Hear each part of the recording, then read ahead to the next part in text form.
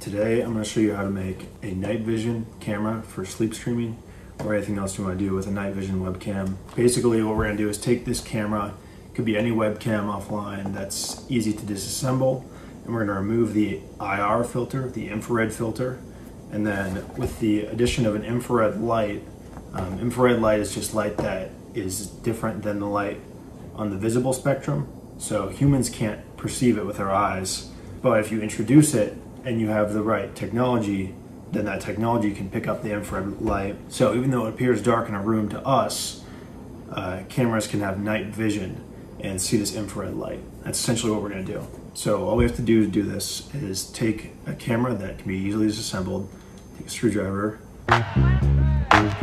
So we're taking the screws out of the webcam. Now what we're to do is take it apart, take off this. It's just a decorative lid, protective lid, and you can see the components and all we're gonna do is unscrew this lens portion here. And then as you can see on the lens, there's a little red piece of glass. That is the IR filter. So once we remove this, then with the aid of an infrared light, an IR light, then this camera will be able to see things that are not visible to the naked human eye. So all we're gonna do is pry this little piece of glass off.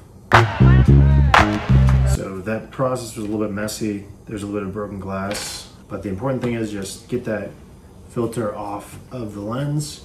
And then I'm gonna take a little bit of alcohol and just clean this lens because I smudged it a tiny bit. And then you should be good to go. And so this is what the lens will look like afterwards with that IR filter removed. Now that filter is removed and this lens is cleaned and everything is good to go, you're just gonna screw it right back in to this webcam.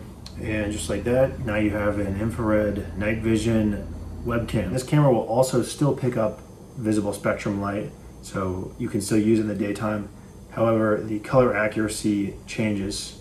And the reason I removed the IR filter from this one, aside from demonstration purposes, is because I have a friend who is going to start live streaming his entire life, aka life streaming, on July 1st, 2021. He's going to be doing that for a month.